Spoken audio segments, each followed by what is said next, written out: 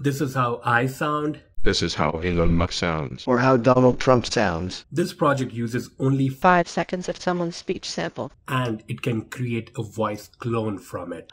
So grab a cup of coffee and let's get into it. In the description below, you'll find a link to this Colab file. We have already worked on this project before. And if you are interested, you can find the links to them below. There used to be this issue in the past. This speech is from the old version of the project. These long pauses were very you would have to use an audio editing application to remove them. But in this version of the project, we have solved this issue.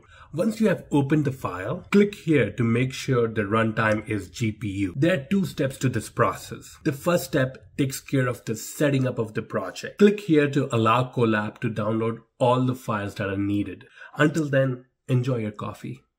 After two minutes, Okay, things seem to be ready. First option allows us to use the default Elon Musk voice or upload your own cloning sample. First, let me select Elon Musk. The second step is the option to remove noise. Make sure it says yes. The third and final step is the text. Here, put in the text that you want the AI to speak. For now, I'm going to open Google News and copy this news article and paste it here. At this point, we can click the play button and Colab will process the audio file for us.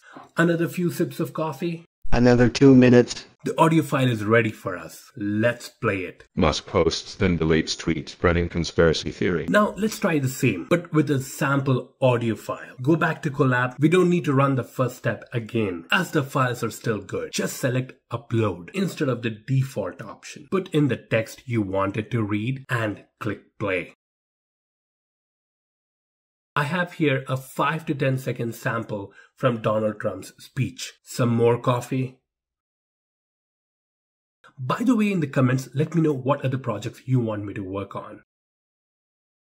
And it's ready. Let's play it. liquidations occur when an exchange forcefully closes a trader's leveraged position due to a partial or total loss of the trader's initial margin.